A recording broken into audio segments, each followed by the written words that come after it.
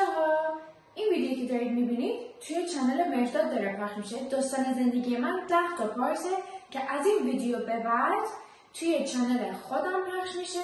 هر روز پخش می‌کنم هر قسمت های جدید می‌ذارم اگه این ویدیو رو دوست داشتین channel من رو subscribe کنید زنگولش رو بزنید که هر روز که این ویدیو میاد نفر اول باشید که می‌بینید و ویدیو رو از دست ندین. و بیشتر از این منتظرتون نمی‌ذارم بریم با هم ببینیم ویدیو رو. من تو زندگیم اتفاقات خیلی جالبی افتاده از موقعی که از ایران رفتیم تا خود همین الان. که این اتفاقات رو می‌خوام توی ده قسمت براتون بگم. من آیسان هیچن هستم. اگه کانال منو subscribe ندارید subscribe کنید که هیچ ویدیو رو از دست ندید بریم اولین قسمت رو براتون تعریف کنم. دو سالم بود که ما از ایران رفتیم و مستقیم رفتیم Cyprus.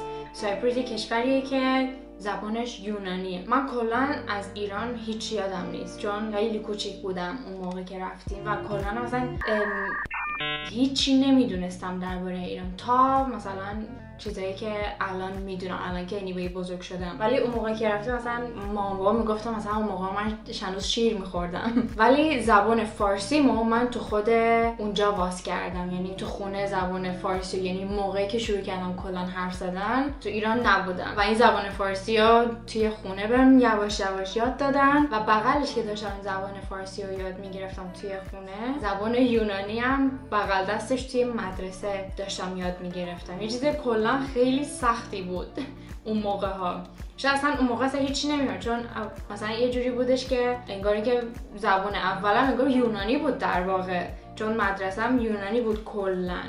اولین باری که رفته بودم مدرسه خیلی عجیب بود برام. یه سری یه ذره زب... اون موقع تازه مثلا یه, یه سری چیزا رو یاد گرفته بودم ولی هنوز کامل بلد نبودم. و واقعا هم یه چیزی بود خیلی عجیب بود برام. که مثلا اون بچه ها یه زبان دیگه حرف می‌زنن من مثلا دو تا زبون بلدم. بعد فکر می‌کردم زشته که دو تا زبونم. من و زبون اونا فقط مال اونا رو بلد نیستم یا هستم. یه چیز خیلی خندهداری بود که خندهدار نه مثلا استرنج بود برام فهمیدمش که چرا اینجوریه. و اولش مثلا اون بچه های دیگه که می‌دونستم مثلا من خارجیم دوست نداشتن. یا مثلا می‌گفتن تو چرا اینجایی؟ مثلا برای چی تو خارجی تو کشور مایی؟ چجوری داری زبون ما رو یاد می‌گیری؟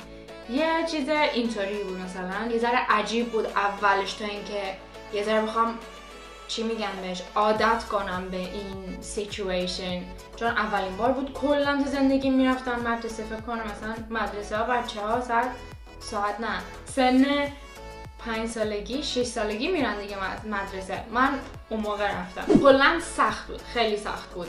توی مدرسه یونانی بهم یاد می‌دادن شبا تو خونه و فارسی حرف می‌زدیم. بعد میگذره مثلا میگذره مثلا داشتم یاد می‌گرفتم مثلا یونانی داشت خیلی خوب می‌شد. و دیگه کلا بعد از چند سال واقعا دیگه زبان اولم بود. فارسیم خیلی بد شده بود یونانیم خیلی خوبه. یعنی بهتر از فارسیم بود.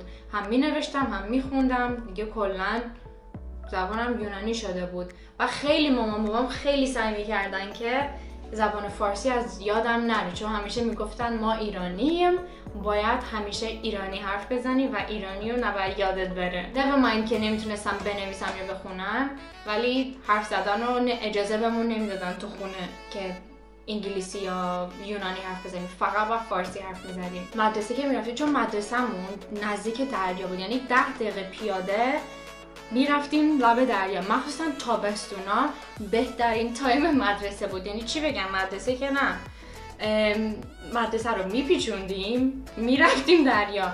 این پیچیدنش مدرسه رو چجوری میپیچوندیم؟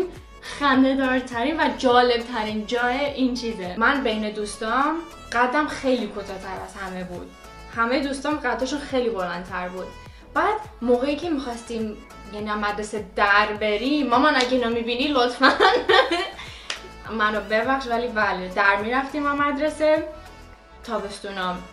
یه دونه دیوار بود. یه دیوار مثلا بگم چه از دو متر دو متر و نیم اینا بودش خب؟ و همیشه دوستام مثلا من دوستامو اینجوری می‌گرفتم می‌رفتن اونا بالا بعد من میموندم. من میموندم نفر آخر بین دیوار و زمین گیر می‌کردم. یه پا بالا یه اینجوری یه پا بالا می بود یه پا پایین.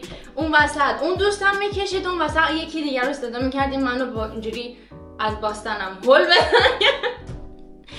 که برم بالا که ولی همیشه همه جام زخمی می‌شد تا بیام در برم از این دیواره. و تنها جایی هم بود که می‌تونستیم در بریم از بالای دیوار. این همه زج رو چیز میکشیدیم که بریم دریا. خیلی خنده دار بود این داستانه. در رفتن از این دیواره. همیشه من زخمی بودم. یه باری که داشتیم در می‌رفتیم این نازم مدرسهمون قدش خیلی کوتاه بود. یعنی از منم قدش کوتاهتر بود خب؟ و موهاش کوتاه بود. خیلی هم سیریوس بود. یعنی اصلا با هیچ کی شوخی نداشت. دید ما داریم در میریم افتاد دنبالمون. یعنی این ایریه که هستش برای بازی یعنی برای مثلا برای فوتبال و بسکتبال یه جای خیلی بزرگی بود. اونجا میدوید دنبال ما ما هم هی میدویدیم. دور می‌زدیم اونم دنبال ما میدوید. تا اومدم برم پشت این درخت قایم بشم که مثلا منو پیدا نکردن معلمه اینجوری زد اینجوری کرد. زد پشتم گفت بیا بریم. زنگ زدن مامانم اومد. زنگ زدن بابا تا مامانم رو دیدم رفتم یعنی در از وای نستدم مامانم حرف بزنم. دویدم توی کلاسی که خالی بود و کلاس اینجوری بود که پنجراش یعنی شیشه ای بود. همه جا شیشه بود. در قفل کردم نداشتم مثلا مامانم بیام. تو هی اونجا داد می‌زنم گفت آیسان بیا بیرون. من می‌گفتم نه. نه. مامان برو من نمیام میگو داد می‌زد. چیز می‌کنم گفت آیسان بیا بیرون. همین الان. این داستان مدرسم بود تازه. داستان اولین باری که مشروب خوردم توی club ی که غیر قانونی وارد شدم تو زیر سن بودم. نگم براتون چه اتفاقی افتاده بود. فردا براتون ویدیوی مشروب خوردن توی club زیر, زیر سن بودن رو براتون می‌ذارم. ویدیو رو اصلا از دست ندید. زنگوله page رو بزنید. subscribe بکنید که هر موقع این ویدیو من نفر اول باشید ببینید و اینو از دست ندید. Bye now!